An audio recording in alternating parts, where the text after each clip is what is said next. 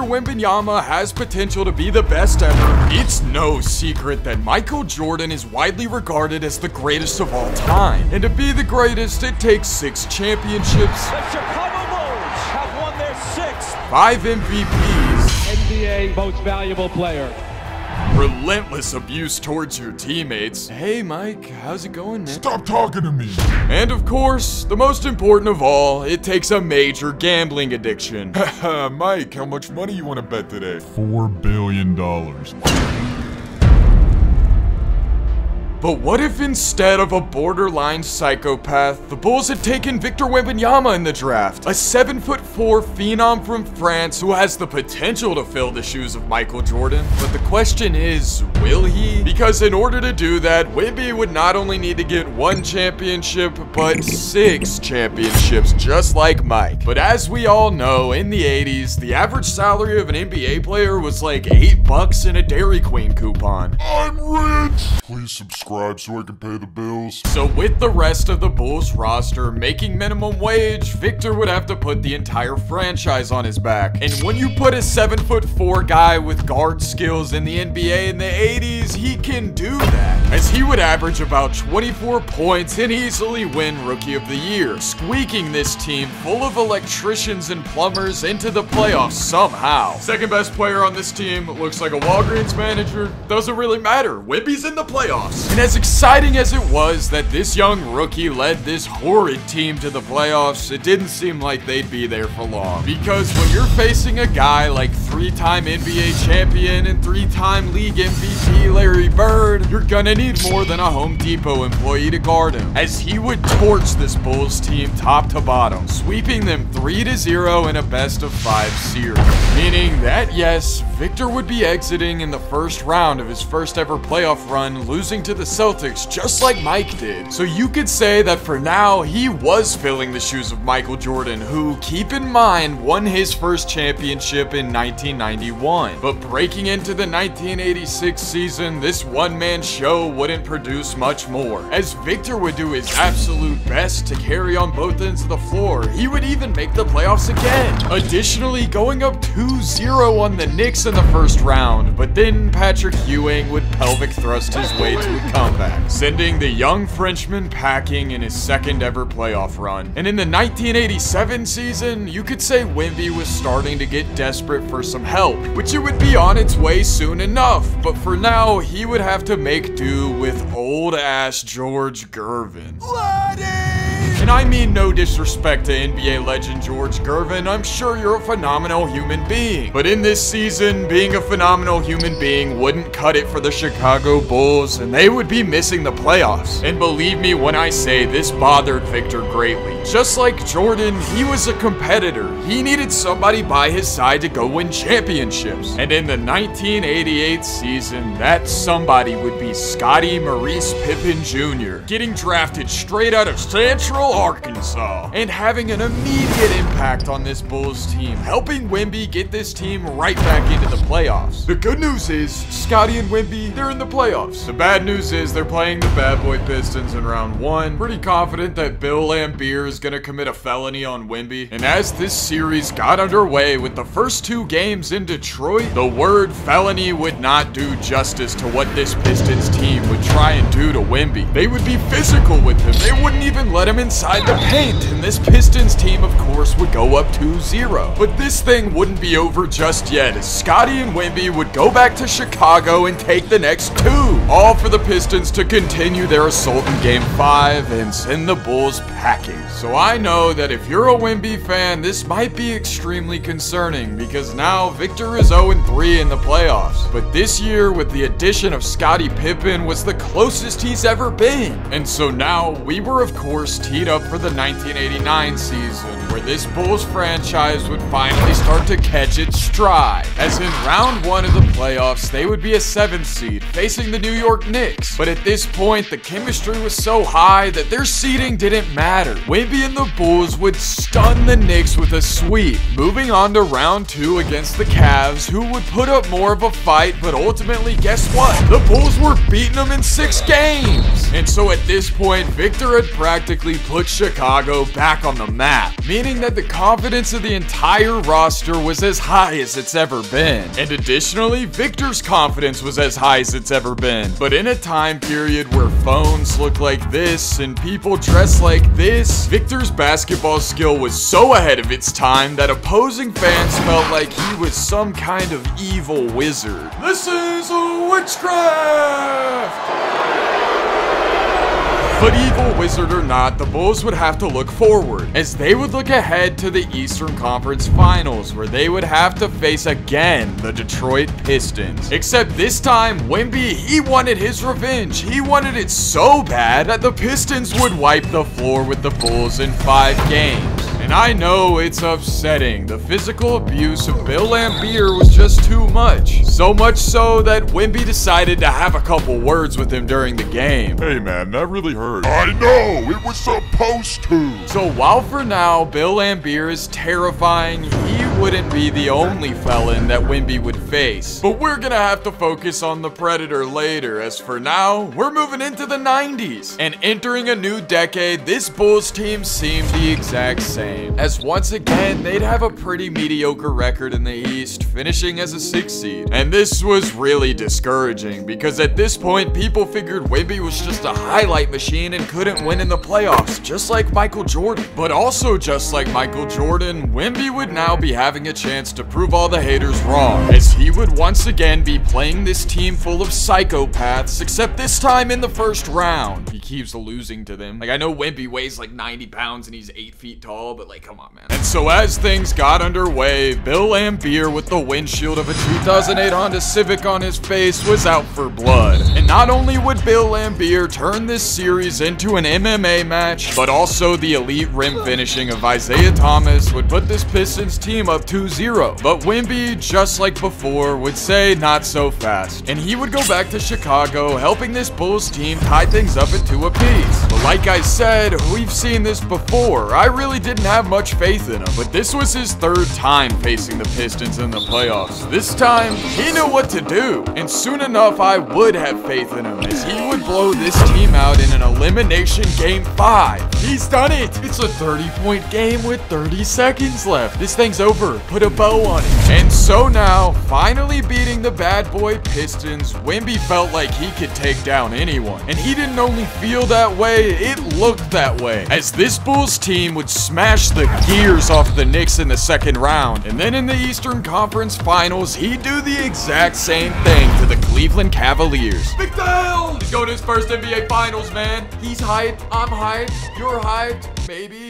I don't know. And Wemby was hyped to be facing the Trailblazers in this NBA Finals. He wanted to show male pattern baldness Clyde Drexler who the best player in their draft class was. And that's not the only reason he was hyped, because if he won this year, that means he would be beating Michael Jordan, who won his first chip in 1991, as I mentioned before. But on the other side of that equation, if Wemby lost to the Blazers, that means he'd be losing an NBA Finals, something that Michael Jordan never let happen. So with all that being said, the pressure was on. Victor had a lot to prove in this series. And with the series starting off in Portland, it was clear that it'd be over in Chicago, as Kevin Duckworth would get absolutely fried for four games, and Wemby would finish this team off with a sweep, winning his first ever championship, like I said, a year before Michael Jordan. That's it, man. NBA champion, Victor Wembanyama. Oh, hey, I like the sound of that. I don't actually talk like that. So while this would put him up 1 to 0 at this point, we still got a lot of time left. If Wemby even wants to come close to the greatness of Michael Jordan, he's gonna have to get five more. But nonetheless, Wemby beat Mike to his first championship, and MJ, well, he didn't like that. In other news, Victor Wembanyama wins his first NBA title. He's not better than me though. I'll beat his ass. Please don't hit me, Mr. Jordan! But now it seemed like it was time to make MJ a little more angry. Because Scottie and Wemby now have tasted a championship. They want some more. And in this 1991 season, they finally get to a one seed. And it seemed like they might just do it again. My beloved French Prince has finally gotten this team to a one seed. And it goes without saying that this would be the French Prince's first MVP season. So I don't think it surprised anybody that in these playoffs, there wasn't a soul in this league that could guard him. And the Chicago Bulls, as expected, would be right back in the NBA Finals with a rematch against the Trailblazers. And let me emphasize that the Bulls in this playoff run had only taken one loss so far. You'd be pretty goofy to think Mr. Receding Hairline had any chance this year. And so while the Blazers would somehow get a couple games on them, this thing was over in six. Wemby was running it back to back, and I can't say that this was that surprising. Bring it to him, bring him his second ring. Oh my god. Hey, yo, what the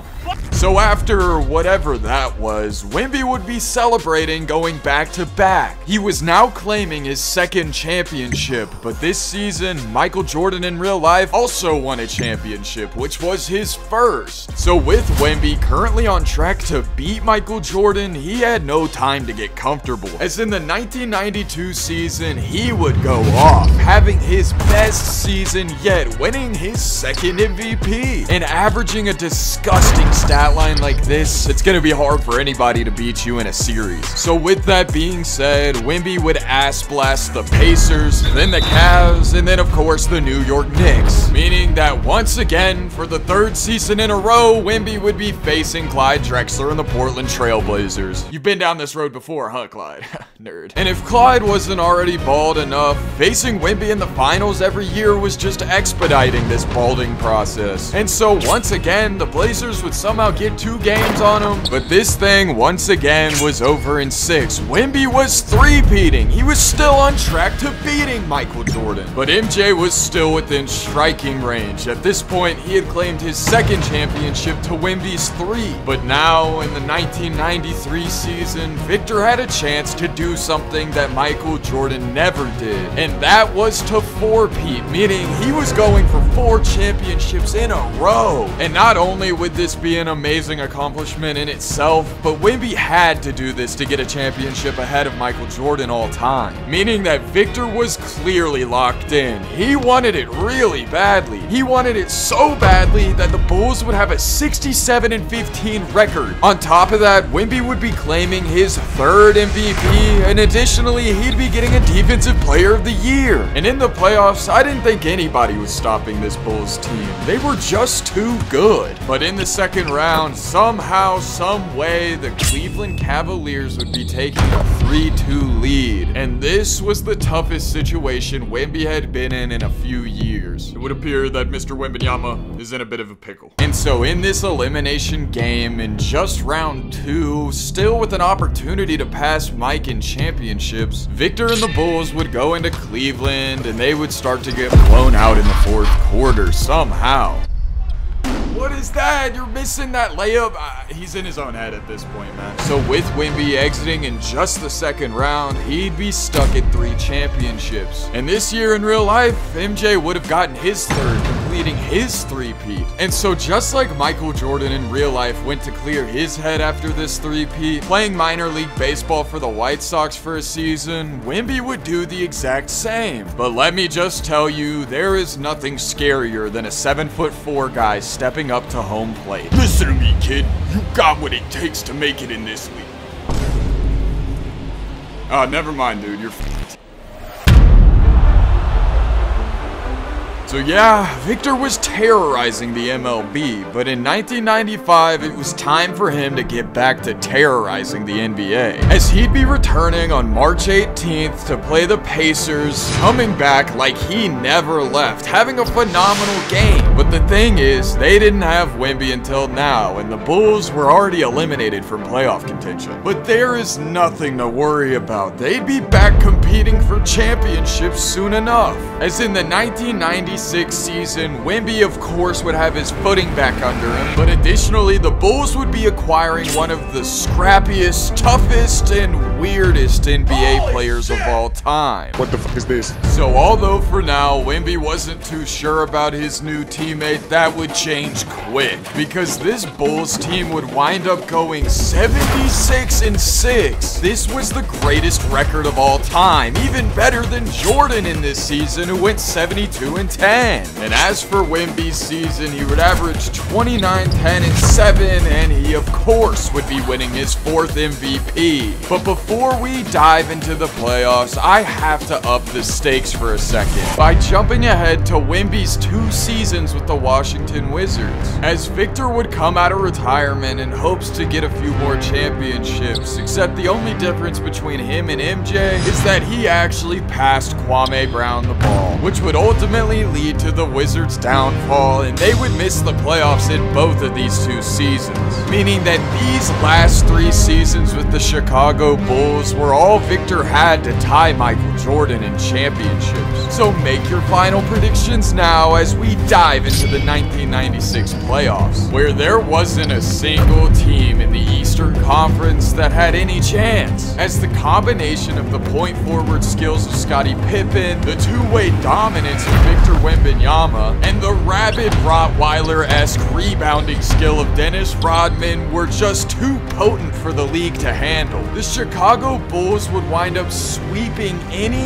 and everybody in their path to the finals, meaning that they were 12 0 in these playoffs before facing the Seattle Supersonics. I guess Dennis Rodman is uh, doing the dirty work, so to speak, on and off the court. I don't know what that means. And against Shawn Kemp and Gary Payton, Rodman would keep doing the dirty work, as well as Victor Wembanyama, and this thing would be over in a sweep. They would complete the 16 0 playoff run. And this, of course, would also mean that Victor would be claiming his fourth championship. And you already know that Mike also got his fourth championship in this season. So these two were neck and neck down the stretch. And in the 1997 season, I can't say it seemed like it would be different, as the Bulls would have yet another phenomenal record, and Victor Wembanyama another phenomenal season, claiming his fifth MVP, going right back into the playoffs as a one seed and blowing all the way through to the NBA Finals, where he would face the Phoenix Suns, who really had nobody to guard him since Charles Barkley was gone, meaning that this fraudulent Suns team never stood a chance. So, of course, this series was put to bed in five games. Victor Wembanyama had a ring now for each of his five lanky fingers. But Mike, of course, would be getting his fifth as well, leaving us with just one more season to see if Victor Wembanyama could at least match the greatness of Michael Jordan. And it goes without saying that Victor was locked in. He would win his sixth MVP and also another Defensive Player of the Year award. And in the playoffs, we don't even need to waste time. This dominance would of course carry over as he would march the Bulls to the NBA Finals where they would face the Utah Jazz and Predator Karl Malone. Why don't you have a seat right over there? You're not familiar with what I'm talking about. I'm not gonna say what Mr. Malone did, but let's just say he delivered to the wrong mailbox. So now, the one thing standing between Victor Wembanyama and tying Michael Jordan would be the mailman. Would Victor be going out with a fairy tale ending just like Michael Jordan in a win against the Utah Jazz? Or would he come up short and be labeled as the inferior basketball player? Well, we'd be getting the answer pretty quickly as things would get started and Karl Malone would take over. In this alternate reality, the mailman would deliver and he would dominate Victor Wembanyama in five games meaning that Wemby would be one championship short of Michael Jordan in this different era of basketball. But what if we jump forward to an era of basketball that allowed for skinny, stick figure like players to succeed? Players just like Kevin Durant. If Victor Wembanyama took KD's place, how would NBA history pan out? Well, you can figure that out by clicking on the video on the center of the screen.